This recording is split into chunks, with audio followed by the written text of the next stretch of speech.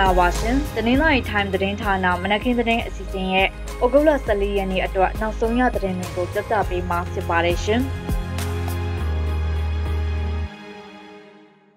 မန္တလေးတိုင်းတပိတ်ကျင်းမြို့နယ်မှာရှိတဲ့တကောင်းမြို့ကိုတော်လန်ရေးပူပေါင်းတပ်တွေထိရှုပ်သိမ်းပိုက်ထားနိုင်ပြီလို့တကောင်းပြည်သူ့ကာကွယ်ရေးတပ်ဖွဲ့ကထုတ်ပြန်ပြောဆိုထားပါတယ်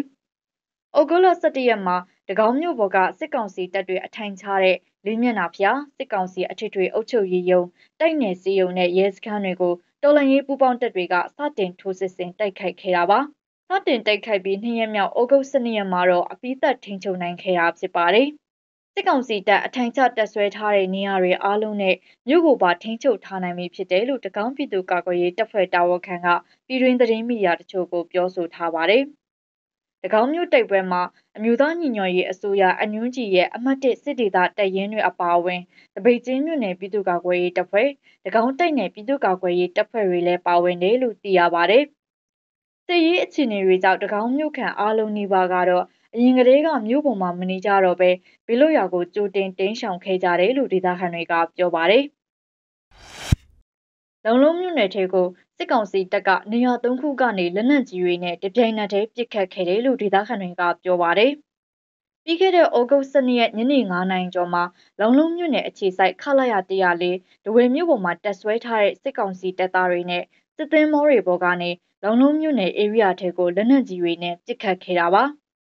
မောင်းကန်ကမ်းခြေအနောက်ဘက်ပင်လယ်ပြင်မှာရှိနေတဲ့စစ်သင်္ဘောကတော့လက်နက်ကြီး၃ချက်ပစ်ခတ်ခဲ့တာဖြစ်ပြီး အဲ့ဒီလက်နက်ကြီးတွေဟာလောင်လုံးမြို့နယ်ကသဘောစိတ်နဲ့ကရင်ကြီးကျေးရွာတွေအနီးတစ်ဝိုက်မှာကြားရောက်ပေါက်ကွဲခဲ့တယ်လို့ဒေသခံတွေကဆိုပါတယ်။လက်နက်ကြီးနဲ့ပစ်ခတ်ခဲ့တဲ့စစ်သင်္ဘောအပါအဝင်စစ်သင်္ဘောနှစ်စီးဟာအခုလ10ရက်နေ့မောင်မကန်ရဲစခန်းကိုတိုက်ခိုက်ခံရပြီးနောက်မောင်မကန်ကမ်းခြေအနောက်ဘက်ကပင်လယ်ပြင်နဲ့ဆန်လန်ကမ်းခြေအနောက်ဘက်ကပင်လယ်ပြင်တွေကိုရောက်ရှိလာတာလို့ဒေသခံတွေကပြောပါတယ်။ စစ်သင်းမောကလက်နက်ကြီးပစ်ခတ်နေတဲ့အချိန်မှာပဲလုံလုံးမြို့နယ်အခြေစိုက်ချီလျင်တရင်ခလာရ104နဲ့ဒဝဲမြို့ကျစားပြင်ရက်ကွက်ကာစတန်စိတ်ကန်းအနီးမှာတက်ဆွဲထားတဲ့စစ်ကောင်စီတပ်သားတွေကလည်းလုံလုံးမြို့ဘက်ကိုလက်နက်ကြီး၃ချက်စီပစ်ခတ်ခဲ့ပါတယ်။မြန်မာငွေကျပ်တသိန်းကိုထိုင်ဘတ်900လောက်သာရရှိတော့တဲ့အထိမြန်မာကျပ်ငွေတန်ဖိုးဟာစံချိန်တင်ကျဆင်းလျက်ရှိပါတယ်။ မနေ့ကဩဂုတ်23ရက်နေ့ရဲ့ထိုင်းဘတ်ငွေအပိတ်ဈေးဟာတပတ်ကိုကျပ်နေရအထိမြင့်တက်သွားခဲ့တာဖြစ်တယ်လို့ထိုင်းမြန်မာငွေလေးလုပ်ငန်းရှင်တွေစီကသိရပါဗျ။အခုဩဂုတ်လအတွင်းမှာမြန်မာကျပ်ငွေတသိန်းကိုဘတ်600ကျော်ကနေဘတ်900ကျော်အထိစက်တိုက်ကျဆင်းနေခဲ့ပြီးလက်ရှိမှာတော့တသိန်းကိုထိုင်းဘတ်900ဝန်းကျင်သာရရှိတော့တာဖြစ်ပါတယ်။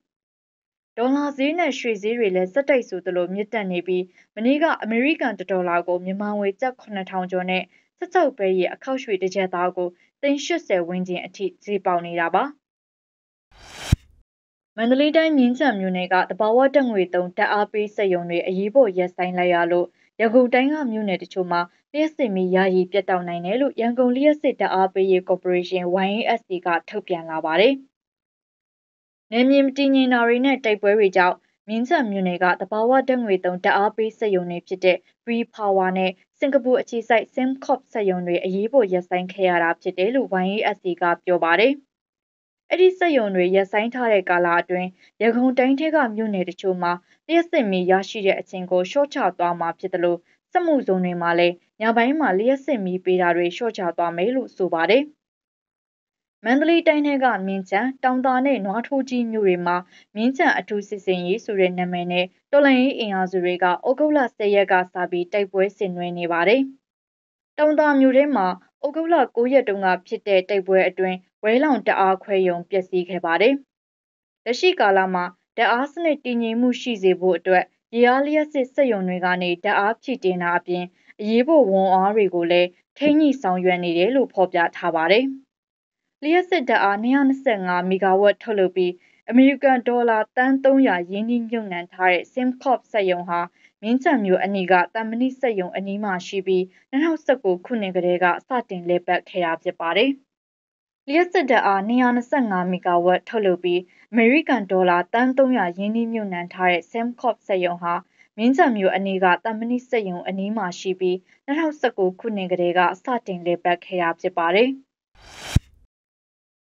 ဗုတ်ပြင်းမြို့နယ်ချောင်းမွန်ရွာကားလမ်းမတနေရာမှာကုန်ကားတစ်စီးကိုလက်နက်ကင်တပ်ဖွဲ့တစ်ခုကဖမ်းဆီးပြီးကားပေါ်ပါလာသူ2ဦးအနက်2ဦးကိုတပ်ဖြတ်ခဲ့တယ်လို့ဒေသခံတွေကပြောပါတယ်။အသက်32နှစ်အရွယ်ဦးအောင်ကိုကိုနဲ့အသက်45နှစ်အရွယ်ဦးသားခန်းတို့မောင်းနှင်လာတဲ့ကုန်ကားကိုစစ်ကောင်စီတပ်ရဲ့ရိခါတဲပေးရဲဆိုတဲ့အကြောင်းပြချက်နဲ့လက်နက်ကင်အဖွဲ့တစ်ခုကအခုလ9ရက်နေ့ကဖမ်းဆီးခဲ့တယ်လို့အဖမ်းခံရသူနဲ့နှိဆက်သူတွေစီကသိရပါတယ်။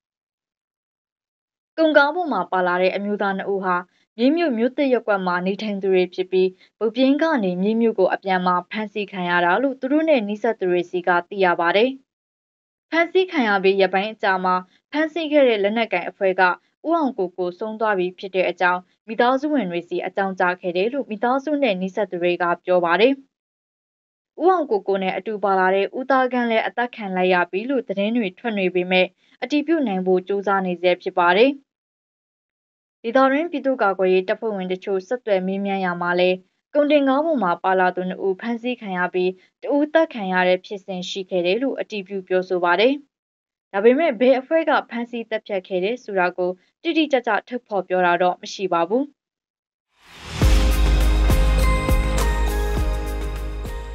တနင်္လာရီထိုင်း သတင်းဌာနရဲ့ မနက်ခင်းသတင်း အစီအစဉ်ကို နားဆင်ပေးတဲ့အတွက် ကျေးဇူးတင်ပါတယ်ရှင်။